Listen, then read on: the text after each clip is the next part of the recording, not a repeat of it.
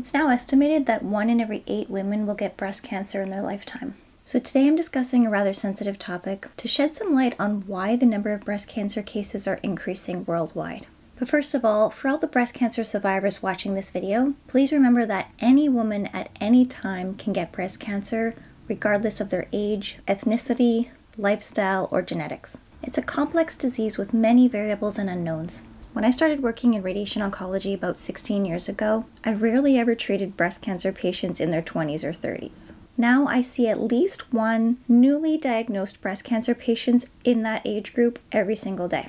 Not only is breast cancer on the rise amongst younger women, but also in women over the age of 40. So, why is this happening? Let's go over seven of the top contributing factors. Number one, hormones. Several types of breast cancer are driven by hormones like estrogen and progesterone. These hormones promote the growth of breast cancer cells that are hormone sensitive. Also, your chance of being diagnosed with breast cancer increases the longer you're exposed to these hormones. Factors like early menstruation, late menopause, and whether or not you took the birth control pill or hormone replacement therapy can all increase your exposure to these hormones and therefore increase your risk of getting breast cancer. This is why it's not recommended to take the birth control pill or hormone replacement therapy after menopause for an extended period of time. Also, there's more hormones in the foods that we eat now more than ever. I'm not going to dive too deeply into hormones today in this video, but I will be doing a separate video on this topic alone. Factor number two for the increase in breast cancer incidence, I hate to say this, beauty products. Prolonged exposure to the synthetic chemicals in our makeup and hair products have been shown to contribute to changes in our breast cells, which can lead to DNA damage and tumor formation. These chemicals are actually called hormone disrupting chemicals. Like, hello, why are they not illegal? And they can be found in the products we use every single day. Now, please remember that, as always, I'm only presenting you with actual scientific facts. I'm not a conspiracy theorist who believes that every man made product will cause cancer. But several studies have shown that the long term use of what are called endocrine disrupting chemicals, aka EDCs, can contribute to breast cancer as they mimic or block your natural hormones. Exposure to EDCs commonly occur through food packaging, cookware, fabrics, beauty products, as we just discussed, and external environmental sources. Some of the most common EDCs include bisphenol A, which you've probably heard of as BPA. They're commonly found in some plastics, food packaging, and the lining of canned foods. Also, phthalates. These are found in personal care products, fragrances, and even in some plastics. And pesticides. These are the chemicals that are used on our produce that we eat and on our lawns to kill bugs, but they all contain hormone disrupting chemicals. it's so frustrating, isn't it? Contributing factor number three obesity. As obesity rates increased amongst women worldwide, so does the incidence of breast cancer. Excess body fat can disrupt your hormone production and causes chronic inflammation, creating an environment within the body that facilitates cancer growth. Also, fat cells love to store estrogen, and as I just mentioned, increased estrogen levels will increase your risk of breast and other types of cancer. The increased risk from obesity is even higher in postmenopausal women. This is why exercising and eating a healthy diet actually go a long way in reducing your overall cancer risk. One of the main reasons that obesity rates are higher than ever is refined sugar. Food manufacturers put it in almost all the foods we eat to make it taste better, and they hide it under different names on food labels, which makes it nearly impossible for people to know how much sugar they're actually eating. Also, fact sugar is highly addictive, and the more we eat it, the more we crave it. It's a vicious cycle that can be hard to break. Along with obesity, sugar is also the leading cause for diabetes. Having diabetes increases your risk of getting breast and other types of cancer by up to 20%. That's huge. Factor number four processed foods. Processed foods are convenient, tasty, and affordable, but are primarily made from refined ingredients that contain artificial additives and preservatives that are known to cause inflammation in the body when consumed regularly. These are everything from packaged snacks, sugary cereals, and sodas to fast foods. Some of the worst ingredients to look out for in processed foods are partially hydrogenated oils, aka trans fats, sodium nitrite, and high fructose corn syrup. These are ingredients that most manufacturers add to their products to make them taste good, make you crave them, and make you want to buy them again. Makes sense, right?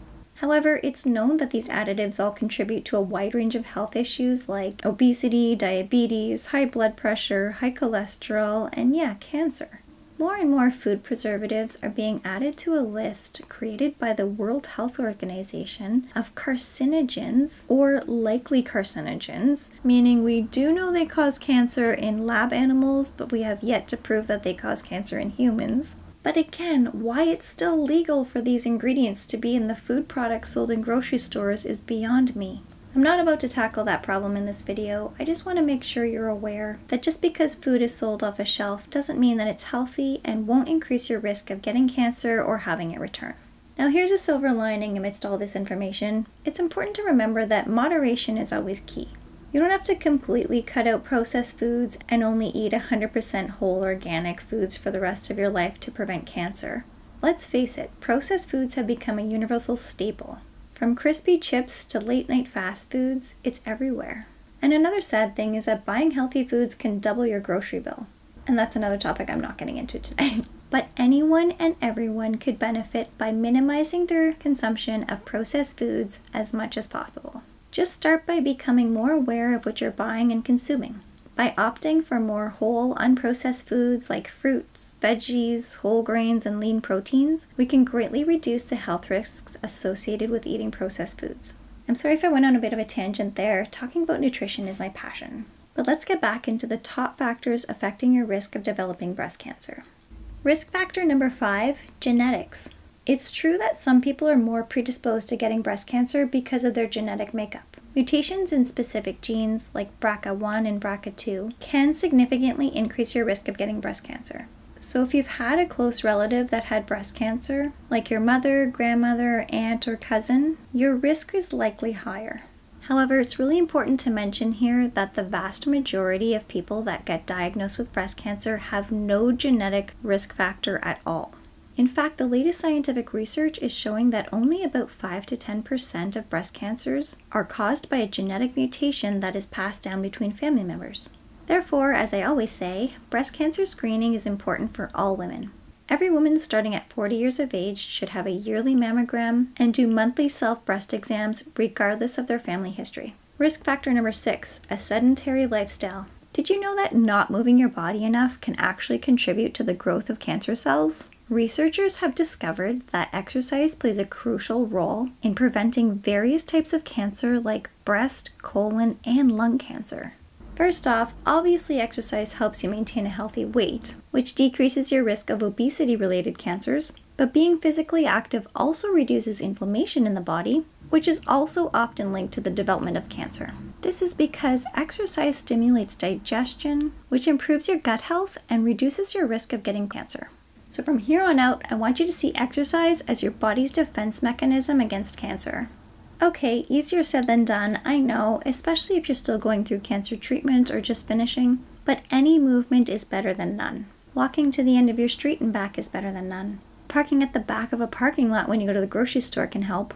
Taking the stairs instead of an elevator can help. And buying a watch that calculates your steps or using an app on your phone which does the same thing can help to make sure you're getting enough steps in every day. This can also help to keep you motivated. But if you're finished cancer treatment and you want to get into a regular exercise routine, the key is to just find something you genuinely enjoy. Whether it's hitting the gym, dancing, swimming, hiking, or even doing a free exercise video on YouTube, there are a ton of options, so just get started if you're able. Exercise is also amazing for reducing stress and anxiety, getting better quality sleep at night, and giving you a sense of accomplishment. When we take care of ourselves, we're living our best lives. And last but not least, risk factor number seven alcohol and tobacco.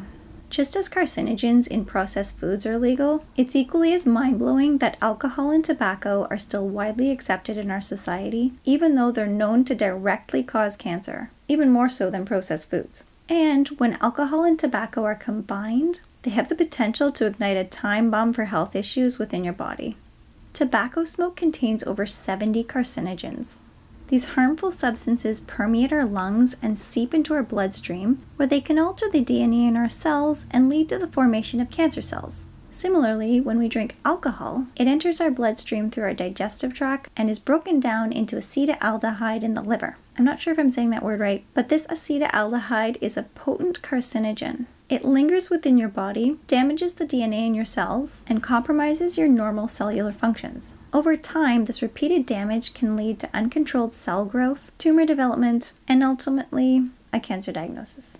As I keep mentioning, the truth is that anyone can get breast cancer regardless of their family history, diet, or lifestyle choices. It's important to remember that the development of breast cancer is a complex interplay of various factors, many of which are beyond our control. We still don't know exactly what the main cause of breast cancer is. So it's essential to focus on what you can control to prevent cancer or having it return, leading a healthy lifestyle, being aware of your family history, doing exercise or moving your body regularly, and attending regular checkups and screenings. Remember that you're not alone on this journey, and there are a ton of support networks and resources available to help you navigate your breast cancer diagnosis. I've linked a few of my favorites below this video for you. Don't forget to subscribe to our channel for more helpful tips on cancer nutrition, treatment side effect management, and effective coping strategies. I'll see you next time.